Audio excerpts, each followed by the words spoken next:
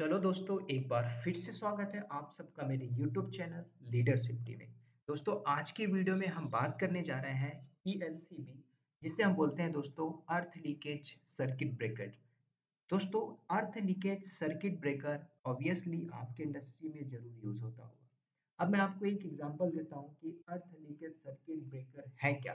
दोस्तों, एक ये सेफ्टी डिवाइस है, जहाँ पे सपोज़ दैट आपकी कोई वेल्डिंग मशीन हो, कोई भी इलेक्ट्रिकल इक्विपमेंट हो, अगर उसमें कोई भी टेक्निकल फॉल्ट आता है, अगर कोई भी उसमें इलेक्ट्रिकल एनर्जाइज लीकेज होता है तो यहाँ पे ई e का काम है उसे डिटेक्ट करना सेफ्टी डिवाइस है। ठीक है तो इंस्टॉलेशन के टाइम में हमें यहाँ पे ई e लगाना होता है। आप किसी भी इंडस्ट्री में हो कंस्ट्रक्शन में हो, अगर आप वेल्डिंग मशीन का यूज़ कर रहे हो तो उसका कनेक्शन ई e के थ्रू होना चाहिए।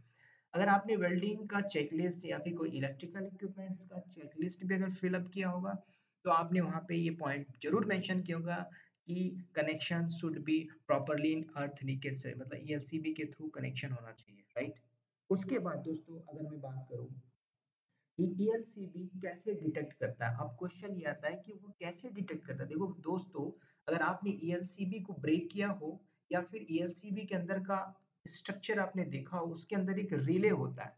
एक डिवाइस होती है सेफ्टी की, जैसे ही कोई भी इलेक्ट्रिकल एनर्जाइज इक्विपमेंट से अर्थ लीकेज होता है तो वो डिवाइस ट्रिप कर जाती है, ठीक है? उसको इंस्ट्रक्शन मिल जाता है और वो ट्रिप हो जाती है, ठीक है? उसके अंदर एक ट्रिपिंग डिवाइस होता है, ठीक है? कभी अगर मैं प्रैक्टिकल करूँगा तो आपको मैं वीडियो ज़रूर शो करूँगा, ठीक है? कैसे वो ट्रिप करता है। ठीक है? उसमें एक स्प्रिंग होता है ई के अंदर और वहाँ से जैसे कोई भी लीकेज आता है, वो बटन अपने आप फ्रेश हो जाती है।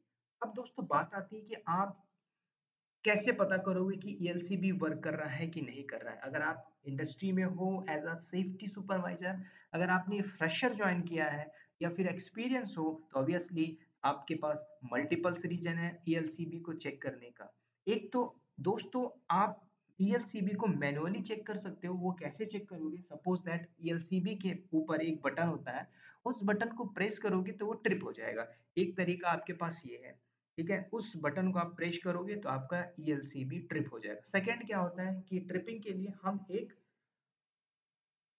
कनेक्शन क्रिएट करते हैं। सपोज़ दैट कि मैंने एक बल्ब का होल्डर लिया हुआ है ईएलसीबी कनेक्शन लगा हुआ है। जैसे ही मैं कोई अगर लीकेज करता हूँ अर्थ ठीक है? जैसे ही मैंने अर्थ लीकेज किया है शॉर्ट सर्किट किया तो वो ई ट्रिप हो जा रहा है। अगर ट्रिप हो गया, समझ जाओ कि ई वर्किंग कंडीशन में अगर ट्रिप नहीं हुआ तो समझ जाना वो डैमेज है, उसको इमीडिएट रिप्लेस कराना है। ऐसे ही थोड़ा आगे बात करते दोस्तों, ये रहा ई अब दोस्तों, बात आती है कि ईएलसीबी के अंदर जो फंक्शनैलिटी होती है, मैंने बताया कि इसके अंदर एक ट्रिपिंग डिवाइस होता है रिले होता है। जैसे आपका कनेक्शन होता है, ठीक है, आपने यहाँ से दे दिया, ये फोर पोल है।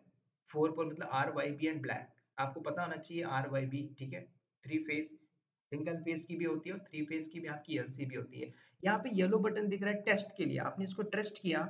सपोज़ दैट ये ब्लू बटन है, अगर ऊपर है, अगर आपने इसको प्रेस किया तो ये ट्रिप हो जाएगा। ट्रिप हो जाएगा इट इज़ वर्किंग कंडीशन अगर ट्रिप नहीं हो रहा, समझ जाओ कोई ना कोई फॉल्ट है, जंग लग गया है, या फिर शॉर्ट सर्किट हो गया है, फिर भी इसको यूज़ किया जा रहा है ओनली फॉर शो ऑफ़ करने के लिए। तो इंडस्ट्री में ऐसा ही होता है। एक आपको लाइव एग्ज़ाम्पल देता हूँ, एक ई से। दो वेल्डिंग मशीन से ज़्यादा कनेक्शन नहीं होना चाहिए। लेकिन मैं जहाँ पे था, उस कंस्ट्रक्शन साइट में एक ईएलसीबी से चार वेल्डिंग मशीन का कनेक्शन था। तो बंदा आता था और इस जैसे ही ओवरलोड होता था, ये ट्रिप हो जाता था। उसके बाद वर्कर आया दौड़ के, इसको उठा दिया। फिर दोबारा ट्रिप हो गया कुछ टाइम के बाद, फिर वो वर्कर आया, उसको उठा दिया, फिर चलने लगी वेल्डिंग मशीन। ऐसे करते करते एक टाइम पीरियड ऐसा आया कि उसने जैसे ही इसको उठाया, इस बटन को पोल को तो वैसे ये ई भी फट गया ब्लास्ट हो गया दोस्तों, और जैसे ही ब्लास्ट हुआ तो उस वर्कर का पूरा फेस जल गया, ठीक है? तो ये कोइंसिडेंट हुआ था मेरे वर्क साइट पे so just I am going to share with you तो आप देख सकते हो यहाँ पे, इसका आपको एक बात पता होना चाहिए, इसका जो ई का, आपने वर्ड सुना 30 मिली एम्पियर अब देखो ट्रिपिंग पॉइंट 30 मिली एम्पियर कैसे, इसको कैसे डिटेक्ट करोगे? एक तो दोस्तों आपको समझना होगा 30 मिली एम्पियर ये हमारा रेटेड ट्रिप जैसे आपका लीकेज होता है, ये आपका rated capacity thirty milli ampere right? जैसे कि आपने वेल्डिंग मशीन से कनेक्शन दिया जैसे ही अर्थ लीकेज हुआ 30 मिली एम्पियर इसका रेटेड ट्रिपिंग पॉइंट है। बट जब मैंने इंडस्ट्री में इसकी टेस्टिंग की, एज पर ओसाज आप जाओगे तो 24 मिली एम्पियर पहुँचते ही ये ट्रिप हो जाएगा। अगर ट्रिप हो जा रहा है, समझ जाओ it is good and okay condition ठीक है? क्योंकि इंसान के बॉडी को ना शॉक लगने में ज़्यादा टाइम नहीं लगता राइट ठीक है थर्टी मिली एम्पियर तक अगर ट्रिप नहीं हुआ तो बंदे को अगर शॉक लगा तो निपट जाएगा, ठीक है? तो मेक श्योर sure कि थर्टी मिली एम्पियर आपका जो रेटेड ट्रिपिंग लीकेज करंट होता है ईएलसीबी e का, जैसे आपने कोई टेस्ट किया, ठीक है? जैसे आपने ट्रिप किया उसको पर्टिकुलरली अर्थ लीकेज करके तो 24 के अप्रोक्सीमेटली ट्रिप हो जाएगा, ठीक है? तो इस पॉइंट को याद रखना इंटरव्यू में ज़रूर क्वेश्चन करता है कि what is the tripping point of the ELCB तो क्वेश्चन में यहाँ पे कंफ्यूज मत होना। रिसेंटली क्वेश्चन पूछा था कि आ, कि जो ईएलसीबी का रेटेड ट्रिपिंग पॉइंट क्या है? ठीक है? लीकेज होता मेक श्योर 30 मिली एम्पियर अब यहाँ पे आपको ये कंफर्म करना होगा कि ईएलसीबी ऐसा नहीं है कि आपका थ्री फ़ेज़ सिंगल फ़ेज़ और थ्री फ़ेज़ का भी हो सकता है। आप इंडस्ट्री में काम कर रहे हो सिंगल फ़ेज़ नॉट अलाउ ठीक है? इस बात को याद रखना। अब घरों में आप यूज़ कर रहे हो ठीक है? सिंगल फ़ेज़ सप्लाई ठीक है? सिंगल फ़ेज़ का यूज़ इंडस्ट्री में थ्री फ़ेज़ का हमें यूज़ करना होगा डेफिनेटली अब यहाँ पे थोड़ा सा दोस्तों हम सेफ्टी फैक्टर की बात कर लेते हैं।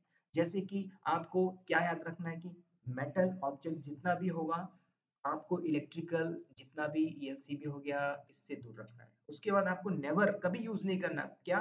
Cords plug around the water suppose that पानी के आसपास आपका वेल्डिंग बूथ है, वहाँ पे आप यूज़ कर रहे हो कॉर्ड्स ठीक है? अनप्लग केबल तो वहाँ पे चांसेस है एक्सीडेंट शॉर्ट सर्किट होने का। ठीक है? कभी भी पुल मत करो। कभी भी प्लग मत निकालो। कहाँ से? किस चीज़ से? कॉर्ड से। कॉर्ड आपको मैं बताऊँ तो अगर आप देखे होगे इलेक्ट्रिकल बूथ के अंदर तो आपको मल्टीपल कॉर्ड मिलेंगे सॉकेट ठीक है? ऐसी मैं बात करूँ ऑलवेज आपको कहाँ से दूर रहना? सब स्टेशन अगर आपने सब स्टेशन देखा हो या पावर लाइन देखा हो थर्मल इंडस्ट्री के अंदर ठीक है? सारा कुछ आपको दिखता होगा। पावर स्टेशन के अंदर आप नहीं जा सकते, वहाँ से दूर रहो। हाई एनर्जाइज लाइन होती है राइट ऐसे आपको चढ़ना नहीं है। कभी कभी क्या होता है वर्कर क्लाइंब कर जाता है पोल इलेक्ट्रिकल पोल के अंदर। कभी आपने वीडियोस देखा होगा यूट्यूब के अंदर कि वर्कर रेलवे बोगी के ऊपर चढ़ गया, ऊपर से हाई टेंशन लाइन जाती है, उसको उसने टच कर दिया ब्लास्ट हो गया राइट तो ऐसी कोई मिस हमें नहीं करनी है और ये सब ट्रेनिंग हमें प्रोवाइड करना है। और कभी भी ऐसा फ्लाई काइट्स नहीं करना near the power line suppose that कि आप पतंग उड़ा रहे हो उसके आसपास। तो ये सब चीज़ें हमारी डेली लाइफ से डिपेंड्स करती है। और कभी भी आपको ऐसा फिंगर अप्लाई नहीं कर देना है कि कोई भी जैसे कि आउटलुक में आपको बचपन का एक एग्जांपल देता हूँ दोस्तों। जब मैं एट्थ स्टैंडर्ड में था तो मेरे घर पे एक इलेक्ट्रिकल बल्ब में होल्डर ऐसे लटक रहा था और उसमें बल्ब नहीं लगा हुआ था। तो पहले मैं डेली क्या करता था, उस बल्ब के होल्डर को प्रेस किया करता तो अच्छा लगता था। तो एक दिन इवनिंग के समय पे उस बल्ब का इलेक्ट्रिकल जो केबल था, वो प्लग पे लगा हुआ था और बटन भी चालू था बल्ब नहीं लगा था, हुआ था और मैं नीचे खड़ा हुआ था नंगे पैर और मैंने उसे जैसे ही प्रेस किया, मुझे जोरदार शौक लगा और मेरा हाथ छूट गया। ठीक है? उस दिन के बाद से मैंने कभी इलेक्ट्रिकल इक्विपमेंट को हाथ भी नहीं लगाया। बहुत लकी था कि मेरी जान बच गई, ठीक है?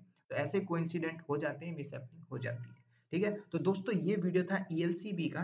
तो मेक श्योर sure कि अभी आप इंटरव्यू के लिए जा रहे हो, आपके वर्क साइड में ईएलसीबी यूज़ हो रहा है तो आपको इसके बारे में पता होना चाहिए। तो दोस्तों, आज के लिए इतना ही। मिलते हैं नेक्स्ट वीडियो में नेक्स्ट टॉपिक के साथ। तब तक के लिए बाय बाय और दुआओं में याद रखना दोस्तों। अल्लाह हाफिज।